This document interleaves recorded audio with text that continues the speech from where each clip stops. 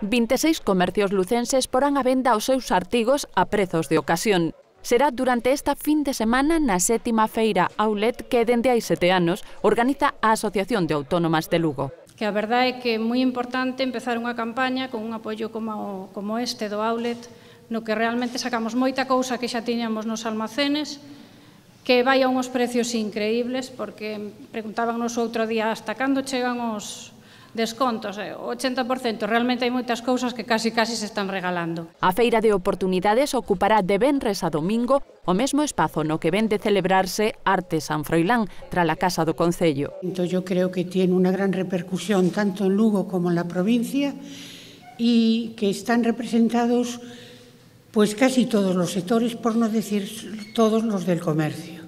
Tenemos lencería, óptica, joyería, ropa de fiesta, niños, e zapatería. A iniciativa tenta dinamizar o comercio local co respaldo das institucións públicas e da Federación de Comercio. Sempre queremos contar con este tipo de actividades dentro da programación que nos tratamos de apoiar desde aquí, porque máis dalá de ser un feito puntual, pois contribuyen ao desenvolvemento económico das actividades e comercios, neste caso vinculados a Asociación de Autónomas da, da cidade de Lugo. Como sempre, a feira abrirá en horario de mañá e tarde con entrada de balde. Eu creo que as institucións debemos sempre eh, seguir participando e seguir colaborando con estas iniciativas que non fan máis que facer cidade e ademais dar a conocer o bon produto e o bon traballo das mulleres autónomas e do comercio en xeral de, de Lugo. Na última edición, a Aulet de Lugo acadou un volume de negocio duns 100.000 euros segundo as estimacións das autónomas.